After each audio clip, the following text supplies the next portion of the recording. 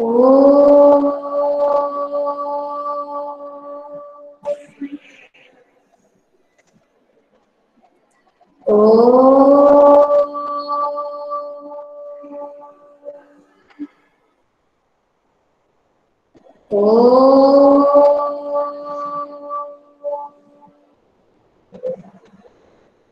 Okay, Siren children, once again, I hope you all are happy and healthy, fit and fine. Yes? Yes, ma'am. Yes, ma'am. Yes, ma'am. Good, good, good, very good. Okay. अच्छा अभी मुझे ये बताओ कि आप लोग का topic हमने वो भी डिस्कस किया था फ़ूड फ़ूड आपका टॉपिक दिया है मैम ने Yes, ma'am. Yes, ma'am. दिया है. यस हाँ okay so the food of Manipur and Nagaland you must be taking in that Yes, ma'am. Okay. Yes, ma'am. So, have you got any specific dish of Manipur and Nagaland? Some खीर type कुछ खीर जैसा होता है ना ma'am साबूदाना की खीर अच्छा ma'am हमने उसकी वो फ़ोटो ली है आपको दिखाया हाँ दिखाओ। Some vegetarian food you should take तो उसमें पता चल पाएगा कि ma'am in ma'am in Manipur there was a dish name Kangshoi like this हाँ यस ओके गुड ठीक है तो उन डिश कोई एक पर्टिकुलर डिश आप ले करके क्या कर सकते हो? उसमें जो भी उसके इंग्रेडिएंट्स है इंग्रेडिएंट्स अब तुम्हें पता है कि what is the meaning of ingredient क्या होता है ingredient means last year science में पढ़ा है? जो उस फ़ूड को बनाने के लिए जो भी मटेरियल्स रिक्वायर्ड सामग्री मैम सामग्री। यस ओके तो हम्म कोई एक स्पेसिफिक डिश इस तरह से ले करके आप उसको, ये मैथ्स में ऐसे कोरिलेट कर सकते हो कि जो इंग्रेडिएंट्स हैं, वो किस रेशियो में कितने लगे हैं और उनकी कॉस्ट कितनी है। तो for a particular amount of that dish what is the cost total cost सारे इंग्रेडिएंट मिलके टोटल कॉस्ट कितनी आएँगे? क्योंकि अभी जब आप, आपका एट्थ चैप्टर पढ़ोगे there you will study about ratio proportion भी थोड़ा सा पार्ट है। और वो जो है कंपेयरिंग क्वांटिटीज है तो उसमें प्रॉफिट लॉस इस तरह से भी सारी चीज़ें हैं। तो उस पे बेस्ड हम क्वेश्चन भी फ्रेम कर सकते हैं। इज़ इट क्लियर अभी मैंने आपको रफ आइडिया दे दिया है। नेक्स्ट क्लास में आप सोच के बताओगे। लिखने से पहले मुझे बता देंगे कि मैम हम इस तरह से करना चाह रहे हैं तो ऐसे कर लेंगे okay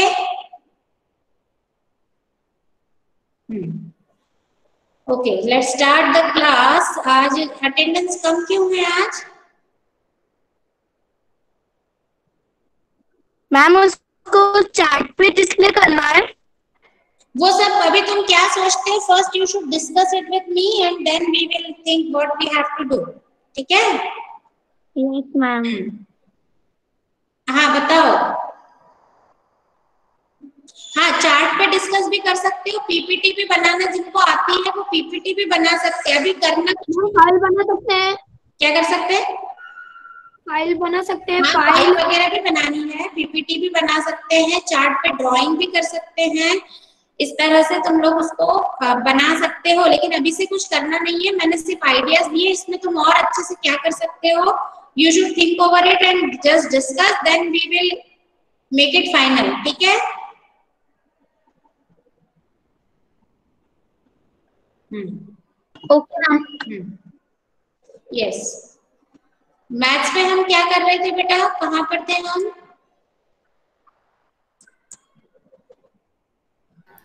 Ma'am seven point two.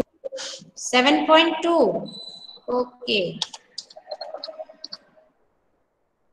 Ma'am आपने बोला था कि सेवन पॉइंट टू खुद से करना है। हाँ। तो खुद से करनी है तो सेवन पॉइंट जो तुम लोगों ने की मैंने कॉन्फ्रुएंसी समझा दी थी।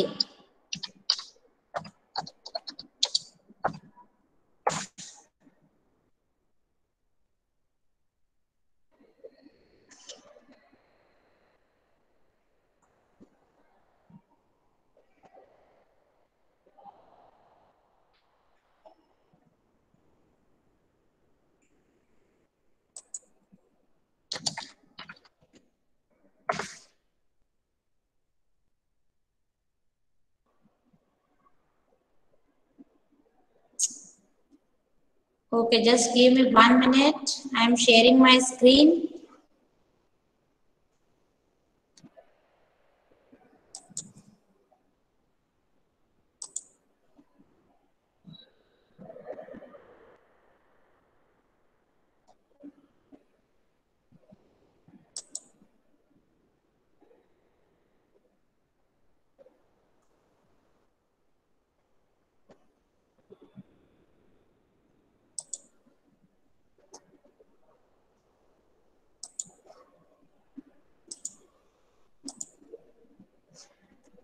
Okay.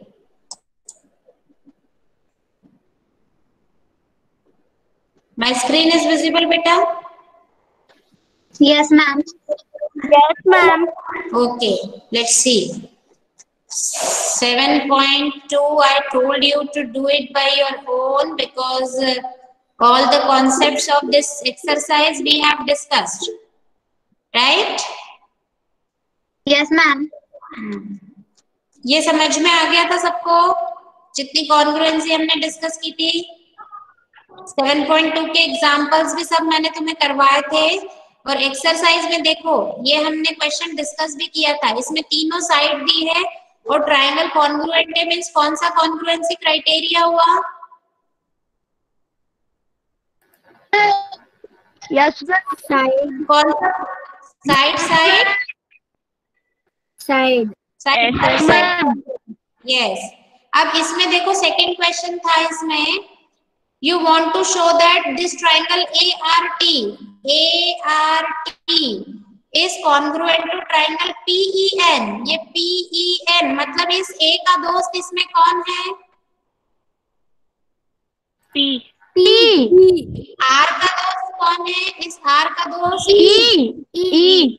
और टी का N. है ना तो अब ये जो साइड ए आर है इस साइड ए आर का दोस्त ये ए आर यहाँ पे फ़र्स्ट और सेकंड नंबर पे है यहाँ फ़र्स्ट और सेकंड नंबर पे कौन है P. E. पीई तो इस ए आर के इक्वल कौन होगा.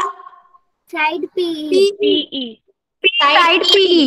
Yes वैसे ही आर टी के इक्वल कौन होगा आर टी यहाँ पे सेकंड और थर्ड नंबर पे E N E. N. E. N. Yes और ए टी के इक्वल. N. क्योंकि एटी इसमें देखो ए आर टी में एटी कौन से नंबर पे है फ़र्स्ट और थर्ड नंबर पे है तो पीईएन में फ़र्स्ट और थर्ड नंबर पे कौन है पीएन तो इस इसके एटी के इक्वल कौन होगा पी एन समझ में आया कि नहीं Yes, ma'am. Yes, ma'am. अब ये है if it is given that angle T equal to angle N ये वाला मतलब ये एंगल टी इक्वल है इस एंगल एन के और तुम्हें साइड एंगल साइड यूज़ करना है। तो ये एंगल अगर इक्वल है बेटा तो साइड कौन सी होगी? टी एंगल कौन कौन सी साइड बना रही है? एटी आर में कौन सी साइड एंगल टी बना रही है बताओ। एटी आर में। Ma'am, please repeat the question. In this triangle A T R ये जो ए टी आर ट्राइंगल है इसमें एंगल टी यहाँ पर बन रहा है कर्सर चल रहा है जहाँ पर दिख रहा है सबको Yes, ma'am. Yes. Yes, angle T कौन सी दो साइड्स बना रही है इस ATR में AT and AT R. और TR. हाँ AT एंड आर या RT कुछ भी बोल सकते हो तो ए टी और टी आर बना रही है मतलब साइड कौन सी होगी AT आर और ये एंगल टी अब ये कॉन्ग्रुएंट है ट्राइंगल इस ट्राइंगल के किससे? साइड एंगल साइड से। तो कौन सी साइड्स इक्वल होंगी? अब एंगल कौन सा इक्वल है? एंगल T इक्वल है एंगल N के। तो एंगल एन अब इस पी एन ई में कौन सी दो साइड्स बना रही है? Angle N A T AT R T अरे अरे बेटा पहले मेरे क्वेश्चन TN और N. हाँ। पी एन और ई एन बना रही है। तो अब इस साइड एटी के इक्वल कौन होगा यहाँ पर? P N P N P N है ना? और एंगल टी इक्वल होगा एंगल एन के। और तुम्हें पूछा क्या है? First part R T R T के इक्वल इस साइड आर टी के इक्वल. साइड होगी? EN. तो वैसे ही इस साइड पी एन इस ट्राइंगल की साइड पी एन के इक्वल कौन सी साइड होगी? अभी तुमने एटी ठीक है समझ गए? अब कौन सा है? देखो सी पार्ट अगर ये तुम्हें गिवन है कि AT इक्वल है PN के यानी ये AT इक्वल है इस PN के और तुम्हें क्राइटेरिया कौन सा यूज़ करना है?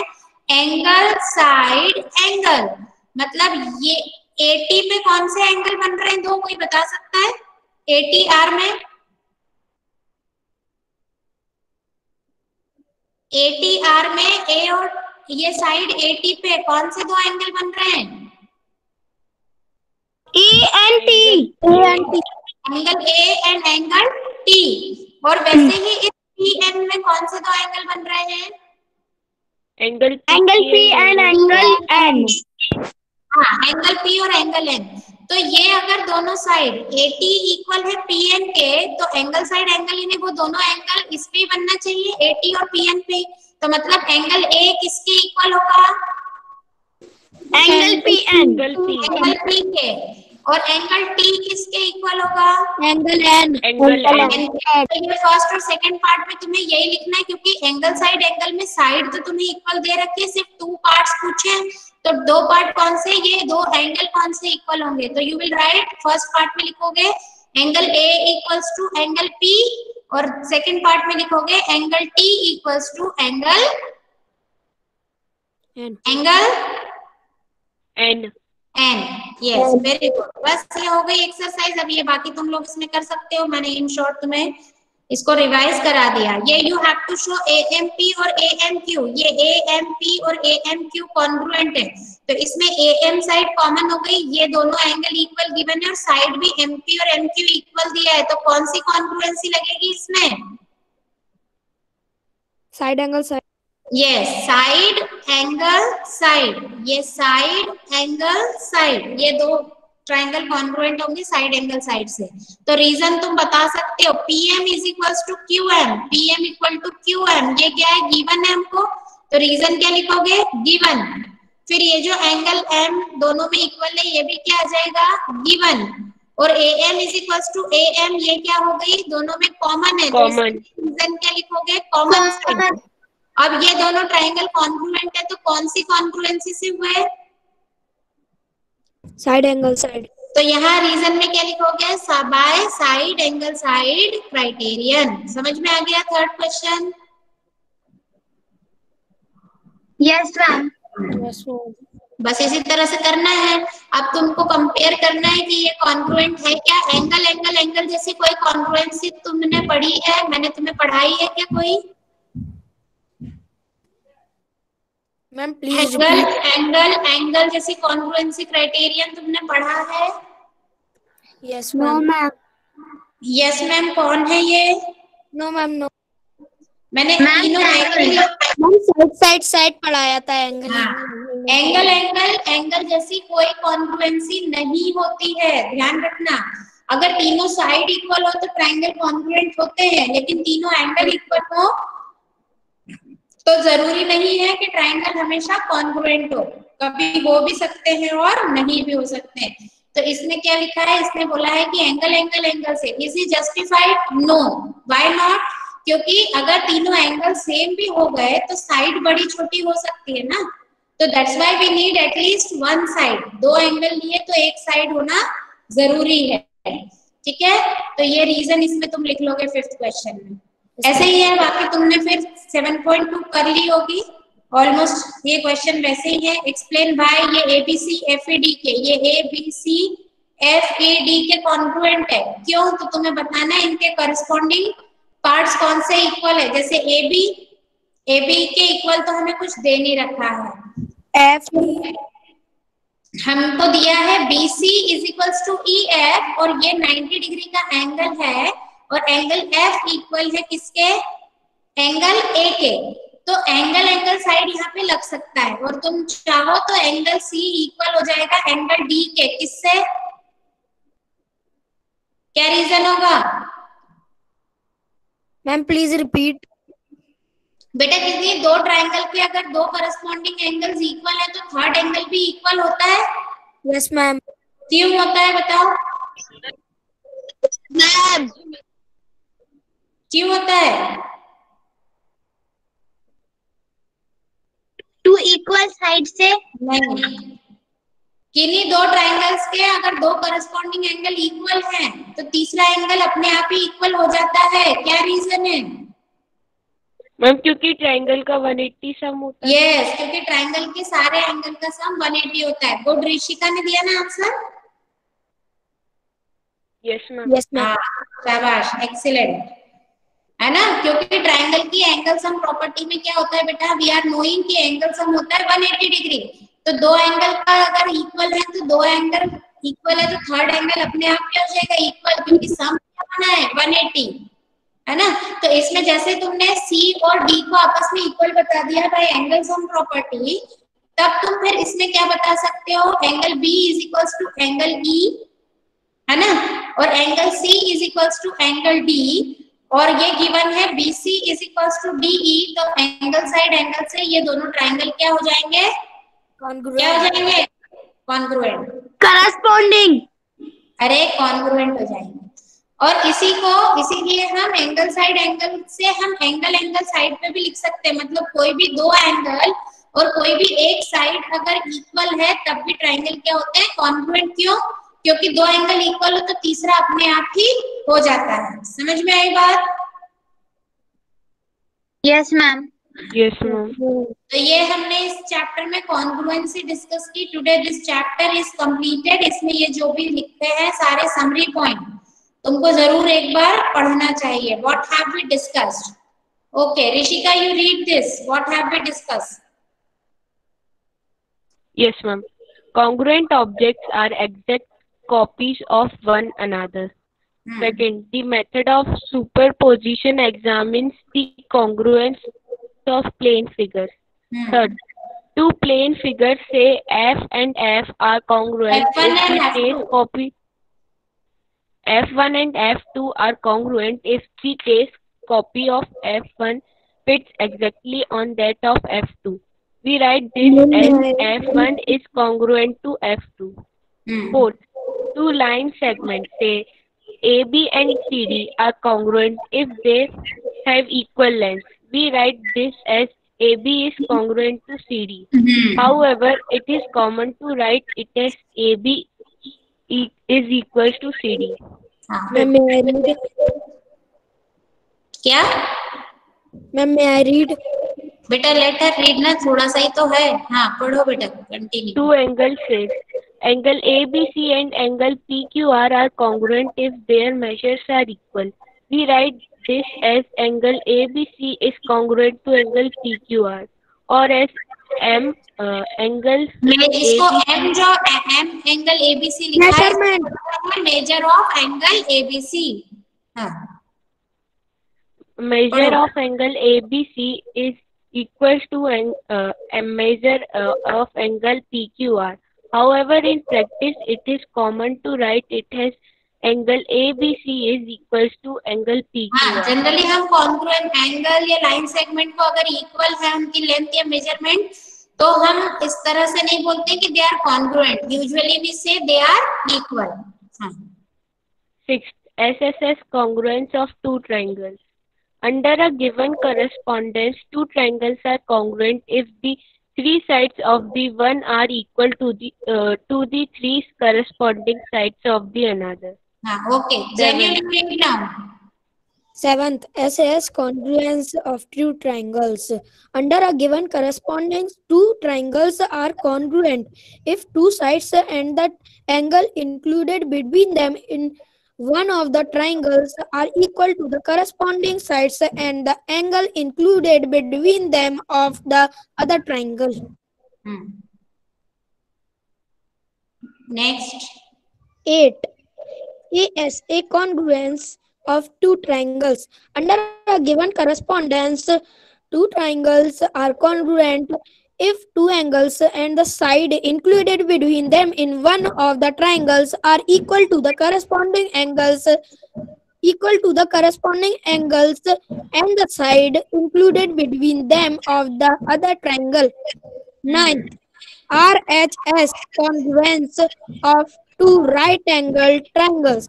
Under a given correspondence, two right angle triangles are congruent, congruent if the hypotenuse and a leg of one of the triangles are equal to the hypotenuse and the corresponding leg of the other triangle. हाँ अब ये तुम्हें पता है कि triangle की side को leg भी बोलते हैं आर्म भी बोलते हैं या साइड ऑफ़ ट्रायंगल भी बोलते हैं एक ही मतलब है तीनों वर्ड का इसमें हाँ Tenth, there is no such thing as AAA congruence there is no such thing like angle angle angle congruence of two triangles. Yes. Two triangles with equal corresponding angles need not be congruent. In such a correspondence, one of them can be an enlarged copy of the other. They would be congruent only if they are another. हाँ अगर वो एक दूसरे की बिल्कुल exact copy है तो ही वो कॉन्ग्रुएंट होंगे, नहीं तो वो कॉन्ग्रुएंट नहीं होंगे। So here we have studied about congruency of triangles है ना? ट्राइंगल की कॉन्ग्रुएंसी हमने इसमें पढ़ी है।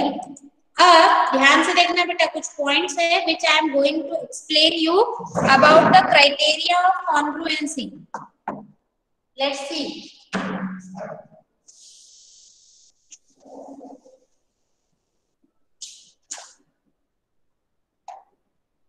ध्यान से देखना बेटा।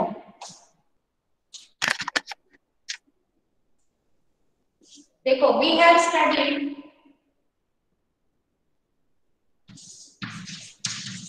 side angle side congruency criteria side side side confluency criteria angle side angle angle confluency criteria and R H S confluency criteria right angle hypotenuse side right पढ़े हैं अब इसमें ध्यान से देख लेना। बहुत इंपॉर्टेंट नोट मैं इसमें बता रही हूँ तुम्हें। ये जो फ़र्स्ट वाला है here we can not change the order side angle side मतलब जो एंगल बनेगा वो दो इंक्लूडेड साइड पे बनेगा. जैसे अगर ये दो ट्रायंगल कॉन्ग्रुएंट है ए बी सी और डी ई एफ़ तो अगर एंगल बी और ई e आपस में इक्वल है तो साइड कौन सी इक्वल होनी चाहिए? ए बी इक्वल होनी चाहिए डी ई के, और बी सी इक्वल होनी चाहिए ई एफ़ के.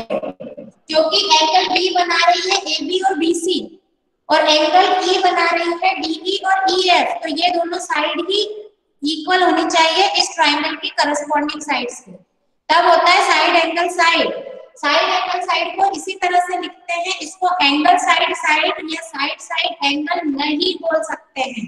ऑर्डर यही होता है. फिर इधर आते हैं साइड साइड साइड में तो कोई दिक्कत नहीं है, तीनों करस्पॉन्डिंग साइड्स इक्वल होंगे तो ट्राइंगल कॉन्ग्रुएंट हो जाएँगे. अब ये जो एंगल साइड एंगल है, इसका क्या मतलब होता है? कि ये एंगल हम लोग वही ये ट्रायंगल है एबीसी इसको नाम दिया डीईएफ तो एंगल ए इक्वल है एंगल डी के एंगल बी इक्वल है एंगल ई के तो अब ये दो एंगल तो हो गए इनके बीच की साइड तो एंगल कौन से? ए और बी आपस में इक्वल है किसके? डी और ई के तो इनकी दोनों की साइड ए और बी एंगल किस पे बन रहे हैं? साइड ए बी पे। और डी और ई एंगल किस पे बन रहे हैं? साइड डी डी पे। डी पे। तो ये इंक्लूडेड साइड होनी चाहिए। इंक्लूडेड साइड मतलब उसके बीच की साइड होनी चाहिए। इसको बोलते हैं एंगल साइड एंगल लेकिन एंगल साइड एंगल से ही हम एक कॉन्ग्रुएंसी और बना सकते हैं जिसका नाम होता है एंगल एंगल साइड ये तुम्हारी बुक में नहीं दी है लेकिन ये अंडरस्टूड है। एंगल एंगल साइड क्यों हो जाती है बेटा? अगर दो ट्राइंगल लिए हमने वही ए बी सी और डी ई एफ़ तो अगर इनके दो एंगल मान लो एंगल ए इक्वल है डी के और डी इक्वल है ई के तो मुझे बताओ सी और एफ़ भी आपस में इक्वल होंगे या नहीं होंगे Yes, ma'am, होंगे. अभी हमने डिस्कस किया था by angles of property of triangle. Third angle will be equal और नॉट Yes, ma'am, equal. हाँ होगा होगा ना तो बेटा इसमें आप साइड कोई भी दी हो अगर तुम्हें AC equal to DF given है तो अब ये तुम्हें अंडरस्टूड है कि if angle A equal to D के बी इक्वल टू E के it means this C will be equal to F. Yes ma'am तो तुमने जैसे ही सी इक्वल टू एफ़ बता दिया और A C equal to D F के तो एक्चुअली ये एंगल है एंगल को तुमने इसको कन्वर्ट कर दिया या नहीं कर दिया? यस मैम यस मैम आप हो गई ना? देखो A C equal to D F के angle A equal to D के सी इक्वल टू एफ़ के। तो ये आ जाएँगे तुम्हारी angle side angle confluency yes ma'am तो किसी भी इसमें बेटा अगर दो ट्राइंगल के कोई भी दो करस्पॉन्डिंग एंगल और कोई भी एक साइड भी अगर इक्वल हो तब भी ट्राइंगल कॉन्फ्लुएंट हो सकते हैं। उसको हम लिख सकते हैं फिर एंगल एंगल साइड तो एंगल साइड एंगल भी चलेगा और एंगल एंगल साइड भी चलेगा। समझ में आ गया? Yes, कोई. भी दो एंगल अगर Yes, ma'am. one of the side is equal then the triangles are congruent. लेकिन जब हम दो sides लेते हैं तब वो एंगल हमेशा क्या होना चाहिए? इंक्लूडेड एंगल होना चाहिए. ये इसका बेसिक कॉन्सेप्ट था. Okay so this was all about the congruency of triangles right ये हमने कॉन्ग्रुएंसी ऑफ़ ट्रायंगल डिस्कस कर लिया. हमारा seven chapter is completed now and then in today itself we are going to discuss the next chapter Chapter eight. that is eighth chapter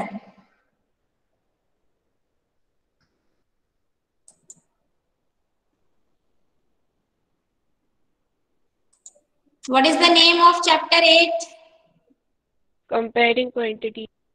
Comparing quantities. क्या नाम है बताओ। Comparing quantities. Comparing quantities मतलब हम क्या करेंगे इसमें?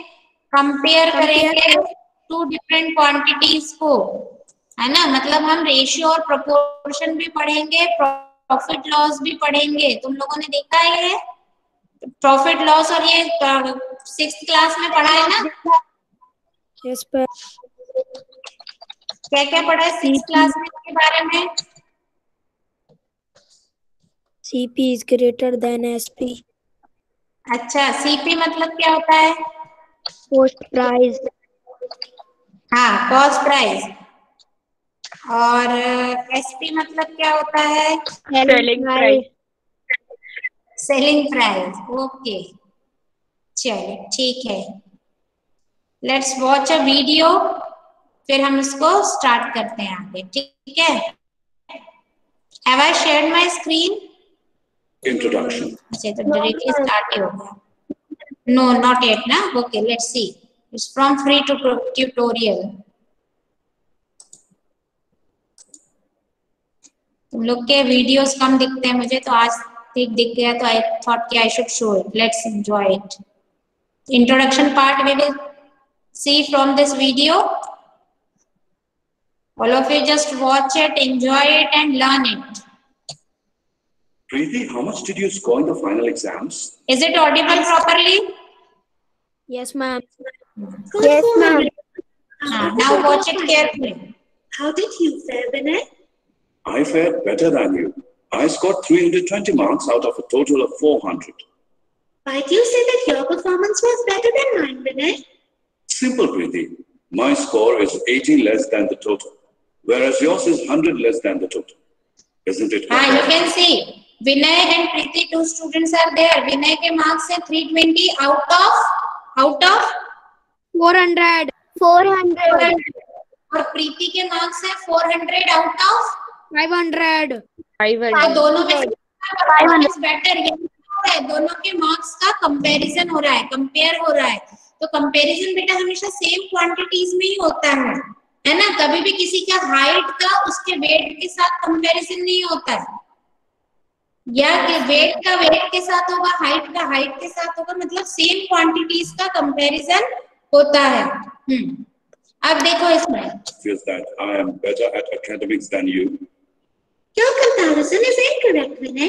In fact, I proved a better student because I secured a bigger score in the final exams.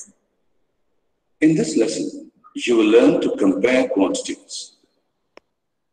Objectives. At the end of this lesson, you will be able to compare quantities using ratio, proportion, and unitary. ये तीनों चीजें तुमने six class में भी पढ़ी है compare quantities using ratio proportion and unitary method ये पढ़ा है ना Yes, ma'am. Define percentage. Edu Express what you numbers, saw dot fractions, com decimals, and ratios as percentage. Convert percentages to numbers, fractions, decimals, and ratios. all this we are going to discuss in this video Percentage to compute, increase or decrease percent, profit or loss percent, and simple interest. Comparison of quantities. Apple in a basket, Grades of students. marks scored in exams, heights of towers, etc., are all examples of quantities. Quantities are compared with the help of ratio, proportion, and unitary method. Let us look at these methods of comparison one by one. Ratio. Mridul has a mobile with a 5 megapixel camera, whereas Bharti has a mobile that has a 3 megapixel camera.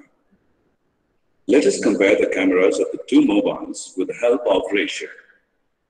We express the ratio Here, what is compared? cam megapixel camera Yes, two cameras are compared कि उनका कितने megapixel का कौन सा camera है तो इसको किससे कंपेयर कर रहे हैं with the help of ratios. of the megapixels as 5 is to 3. It means that Mridul's camera is 5 by 3 times superior to Bharti's camera. It also means that Bharti's camera is 3 by 5 times inferior camera. हाँ एक ही बात है जैसे मैं बोलूँ मैं आपसे बड़ी हूँ या आप मुझसे छोटे हो दोनों का मीनिंग एक ही निकलता है? है ना? अगर आपका और मेरा एज वाइज कंपैरिजन किया जाए आपकी और मेरी एज को कंपेयर किया जाए तो हम इस बात को दोनों तरीके से बोल सकते हैं या तो मैं ऐसे भी बोल सकती हूँ कि मैं आपसे बड़ी हूँ या फिर आप इस तरह से भी बोला जा सकता है कि आप मुझसे छोटे हो। बोल सकते हैं या नहीं? दोनों बातें है। वही यहाँ पर लिखा हुआ है कि मृदुल का कैमरा जो है भारती से फाइव बाई थ्री टाइम्स ज़्यादा अच्छा है। या फिर इसी को ऐसे भी कह सकते हैं कि भारती का कैमरा जो है मृदुल से three by five times inferior है। Proportion. Earlier in this lesson, we heard Preeti and Vinay argue that their respective performances in the final exam were better. Let us sort their argument out with the help of proportion. Let us express the two total scores in the form of a ratio as 400 is to 500. Now let us express the scores of Vinay and Preeti in the form of ratio as 320 is to 400. Reducing them to their lowest terms, we get 400 is to 500 is equal to 400 divided by 500, which is 4 divided by 5. 320 is to 400 is equal to 320 divided by 400, which equals 4 divided by 5. It means the two ratios are in proportion. Therefore, both Preeti and Vinay were wrong. Both of them fared equally well in their final exams. हम्म क्योंकि percentage अलग निकलेगा ना बेटा इसलिए है ना? तो 400 divided by 500 और 320 डिवाइडेड बाय 400 दोनों का रेशियो कितना आया? 4 by four by five 4 by 5 है ना? तो इसका मतलब क्या है? Both of them fared equally well in their final exams Unitary method. ये रेशियो से देखा अब यूनिटरी मेथड से कंपेयर करें दूसरी चीज़। At the last international match, Ranbir scored three goals in 60 minutes, while Satbir scored two goals in 30 minutes. Who was faster at scoring goals? Let us solve the question with the help of a unitary method. Time taken by Ranbir to score three goals is equal to 60 minutes.